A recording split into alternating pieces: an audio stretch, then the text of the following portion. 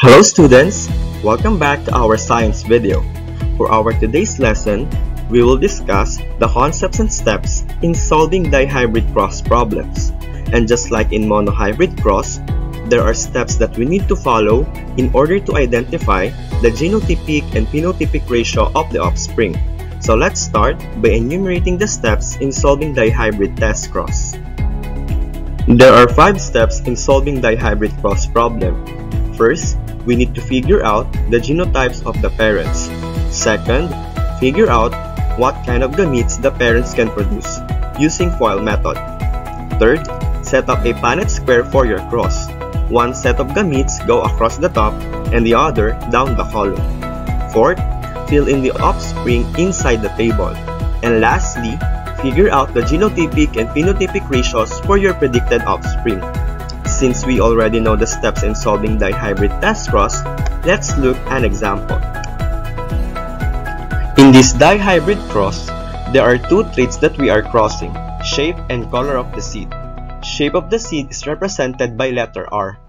Uppercase R for round-shaped seed and lowercase r for wrinkled-shaped seed, while the other trait is represented by letter Y.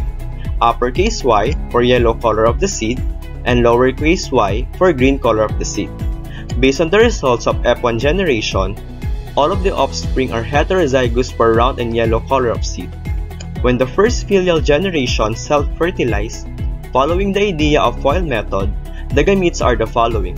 Round yellow seed, round green seed, wrinkled yellow seed, and wrinkled green seed.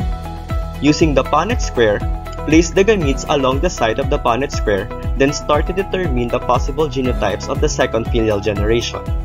Based on the result of the Punnett square, the resulting genotypes are 9 round yellow seed, 3 round green seed, 3 wrinkled yellow seed, and 1 wrinkled green seed. And for the phenotypes, 9 round yellow seed, 3 round green seed, 3 wrinkled yellow seed, and 1 wrinkled green seed. Just to clearly show FOIL method, where F stands for first, O for outer, I for inner, and L for last. Let's see how it was applied in our previous example. Let's have first, which is green, uppercase R and Y, or round and yellow. Outer, which is yellow, uppercase R and lowercase y, or round and green. Inner, which is red, lowercase r and uppercase y, or wrinkled and yellow. Then last, which is color blue, lowercase r and y, or wrinkled and green. Using the FOIL method, we can easily determine the possible gametes that we will cross. So let's proceed with another sample problem. You have a pea plant with purple flowers and yellow seeds, with the genotype heterozygous purple flower and heterozygous yellow seed.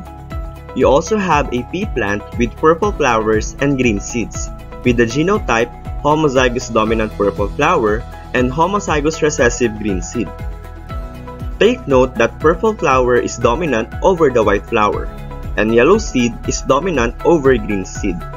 Using a dihybrid test cross, what are the genotype combinations of the offspring? And what are the possible flower and seed color phenotype of the offspring? Let's apply the steps in solving dihybrid test cross. Step 1. Identify the genotypes. Genotype 1 heterozygous purple flower, and heterozygous yellow seed. Genotype 2, homozygous dominant purple flower, and homozygous recessive green seed. Step 2, determine the gametes. This is done by combining the P and Y of each parent to represent sperm and egg. This process is similar to the FOIL method that you learn in mathematics. Therefore, for parent 1, we have round yellow, round green, wrinkled yellow, and wrinkled green and for parent 2, all gametes are round green. Step 3. Perform the test cross by filling in the genotypes of the offspring. Step 4. Identify the genotype results. Based on the Punnett square, the following are the genotypes of our test cross. For homozygous purple flower and heterozygous yellow seed, for homozygous purple flower and green seed, for heterozygous purple flower and yellow seed, and lastly, four heterozygous purple flower and homozygous green seed. Therefore, the genotypic ratio is 1 is to 1 is to 1 is to 1. And for our last step, identify the phenotype results. Based on the Punnett square, the phenotypes are 8 purple flowered with yellow seeds and 8 purple flowered with green seeds. Therefore, the phenotypic ratio is 1 is to 1. Thank you for watching. I hope that you've learned something from our today's lesson. God bless and see you on our next video.